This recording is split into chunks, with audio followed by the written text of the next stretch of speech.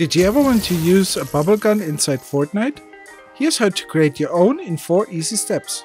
To get started, let's talk about all the devices we will need. Start with a class selector device with these settings. The next thing to add is a damage volume which you need to set up like this. Now let's bring in a HUD controller and turn everything you don't want to show off.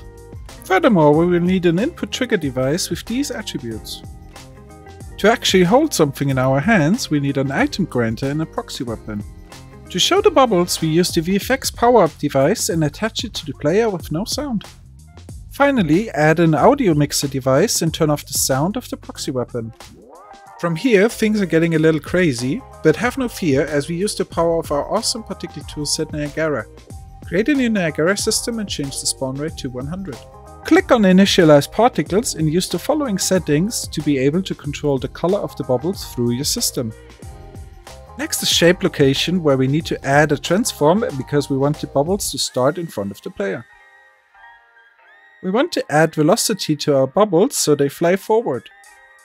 Let's make our bubbles bigger the older they are. To achieve that we need a curve to be able to control the effect over time. We don't need any gravity or drag for the bubble gun, so let's get rid of those too. To add collisions to the bubbles, add collision to the stack and use these settings.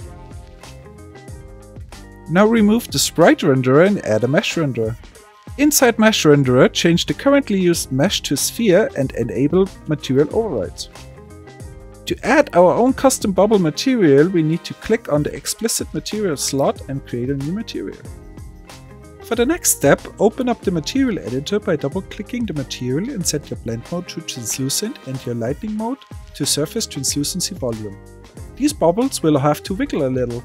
Let's make sure to turn max world position offset displacement to 5 and always evaluate world position offset to on. Let's add some basic parameters to control the shininess of the material. For the color, connect your nodes like shown on screen. The particle color node will allow you to control the color of your bubbles through the Niagara system. Next we want to make the bubbles transparent. Add a Fresnel node and two parameters and connect them to the opacity channel. Those two parameters allow us to fine-tune the look and how much we can see through the bubbles. To add a little wobble to the bubbles, use the setup. You can control the strength of the effect with the connected parameters. And now you have a bubble gun that does no damage. Well, how do we solve that? Let's jump in our final step and bring back the damage volume we created before. We bind the events to our trigger to connect it to the player and activate it when we click the fire button. In order to move the damage volume with the player, we need to add a verse device. Copy the verse code linked in the description into an empty verse file and build your verse code. Drag the device into your scene and connect your player spawner and a damage volume.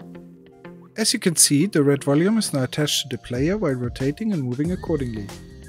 You can control the distance of the damage zone to the player by changing the damage zone offset setting in your bubblegun damage device. And this is how you create your own bubblegun in 4 easy steps. For more information and other cool gameplay ideas, check out the link in the description.